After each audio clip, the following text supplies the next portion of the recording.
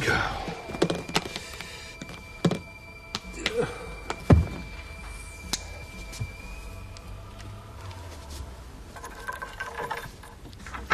Yes, after that dinner, I owe you one for the road. At least.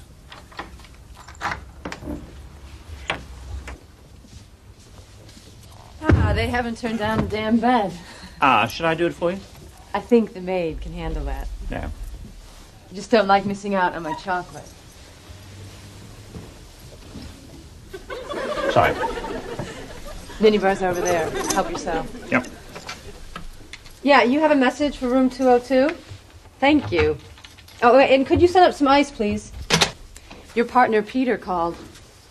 Oh. He was going to see his aunt, or so he said. I'm going to freshen up. Mine's a vodka. Right.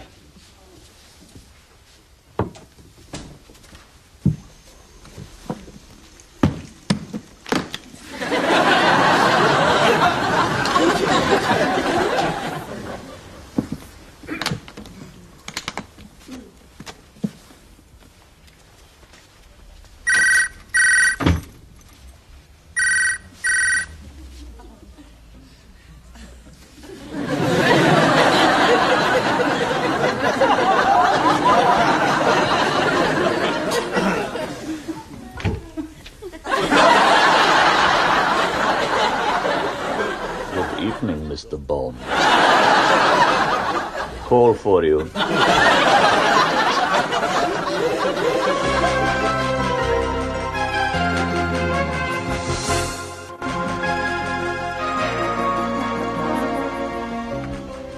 Bastard, Fry. I told you. Hands off this woman. What are you doing here? What am I doing? You first, I think, Admiral. You're the one behind the arras. I didn't entirely trust her, so I, I came to check out her room. That's precisely what I'm doing. We really must learn to communicate better. Let's have lunch. Lucas, uh, not too much tonic, okay?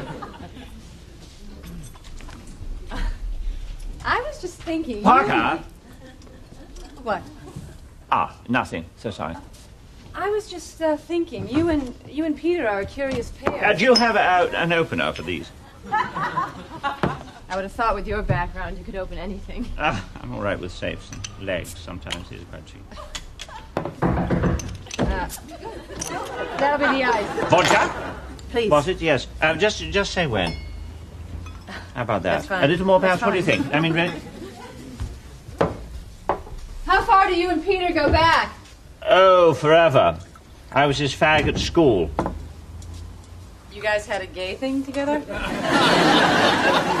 That's the worst thing anyone's ever said to me in my whole life. No. In English public school. When you're a new bug, you have to do things for the older boys. So I had to light his fires, make his tea, clean his shoes. Peter, you see, is a good deal older than I. Ah, so you were a slave. Precisely. A slave with a toasting fork and slipper marks on his bum.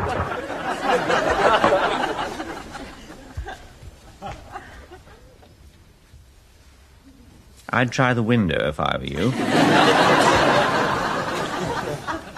Hurry along now. I saw us coming in and thought I might need two more chocolates. Oh, how very nice. Oh, oh, fine.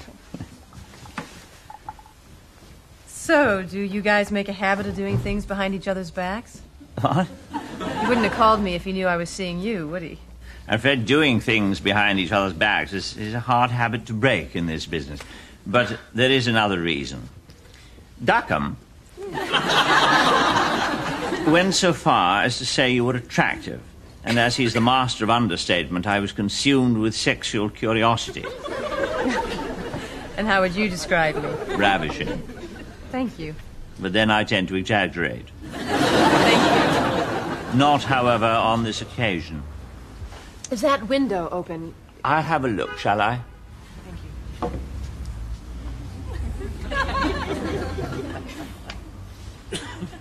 Ah, yes, it is.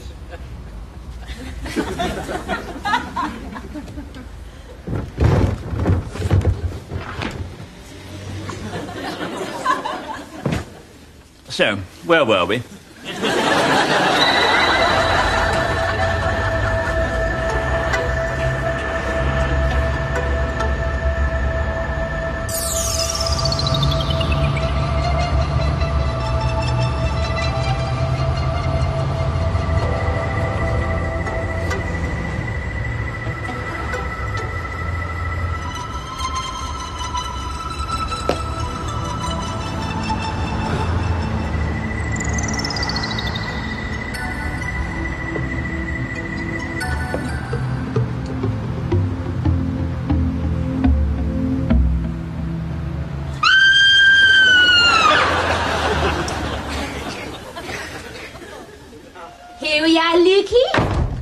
I got you a wicked chocolate croissant.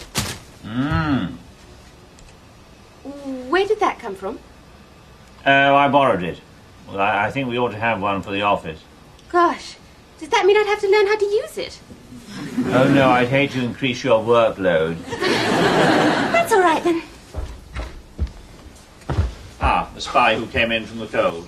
I need coffee now. Oh shit. You'd better have his. I'll be uh, sort of next door. Okay. What happened to your crackers? I was arrested by hotel security for being in a woman's room. I spent the night in a police cell with a psychotic Glaswegian and a tattooed fascist. Here, you can have my croissant.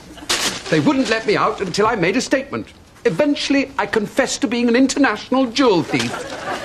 It seemed preferable to attempted rape. Why didn't you call Roland White? What? Your old boss, Rollo. Surely you keep in touch still? Well, I, I haven't seen him since I since I left the service. Really? Well, I would if I were you, and then he can pull some strings if you're going to get into trouble with the police. I used my one call to phone you at the club. Naturally, you weren't there. I expect you were cocooned with Miss Morrow. Keep your voice down. There's no need for Tamsin to hear this. Actually, I left just after you did, as soon as I got my hands on something interesting. Spare me the details. What's that? A floppy disk. I took it from her briefcase. I couldn't open the bloody thing. Oh, there's a trick. Remind me, I'll show you sometime. Oh, What does it tell us? That she's not with a corporation. That was cover. Oh, what is she? She's one of us, a fellow spook. Excuse me, sir, but there's um there's a lady in the club, sir. Yes, we are expecting one, Munson. It's just that it's it's not ladies' night till June, sir. I expect we'll be asked to tender our resignation. No, it's fun to rattle the members' cages now and again. Ah, Parker, how very nice to see you again. I can't believe this. The guy brought me up the back stairs. Oh, that'll be the trousers. Women in trousers, backstairs always. you see, this is really a, a retirement home for harmless old farts. So, it's the perfect place to have a confidential conversation. You son of a bitch. You turned over my room. We both did, actually. What? No, he was there, really. No, he wasn't. No, he, he, he left uh, just after we arrived. He abseiled five floors to the ground. was back having tea with his aunt before she noticed he'd left the room. There's a lot of stuff in there about Lucas and me. I told you I was doing my homework on you guys. Oh, but this is far too detailed. You must have access to classified information. This has the CIA's fingerprints all over it. Okay, I used to be with the agency, but I'm not anymore. This is a one off freelance deal. They want to know about you, Lucas. What? The rumor is you were a KGB mole. Your people, Peter, couldn't afford another scandal, so you let him fly the coop. Oh, this is this is preposterous. I was at school with Fry. I trust him with my life. Not with my wife, but with my life. Well, your employers wouldn't like it if they knew we'd blown your cover. And we wouldn't want that because we've grown rather fond of you, haven't we, Peter? Yes. You want to cut a deal? Oh, don't you just love it when she talks tough? Oh, Sends shivers down my spine. don't tell the agency that you're blown. String them along. Then you can come and work for us occasionally on a freelance basis. I like the sound of this. Screw the agency. We could make some serious money. This, I think, deserves something cold with bubbles in it. I just want to say, Peter, I am only buying this deal because of you. Really? I trust you. I can't say the same for Lucas. I understand. Look, I don't suppose there is a ladies' room in this place? Absolutely not, but we'll ask Munton to stand guard.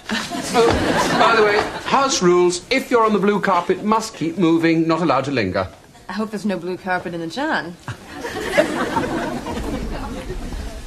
Lucas, I just want to say I'm only buying this deal because of you. Really?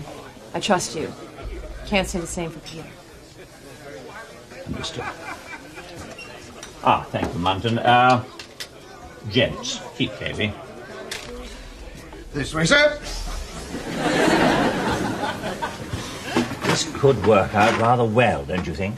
This question of your missing years is not going to go away, you know. I know. That is why it is vitally important that we trust each other. No secrets of any kind. Scout's honour, that sort of thing. Well, as I recall, you were thrown out of the scout troop at school for cheating in the first class hike. It was raining, so I took a taxi. Doing? You can't go through a lady's handbag. Have you ever known a lady go to the powder room and leave her purse behind? My God, this is a filthy business. Isn't it? You can turn ours off now. All right. What, what did she say? Screw the agency, I say. Gosh, if things ever get really dirty, at least we've got that on tape.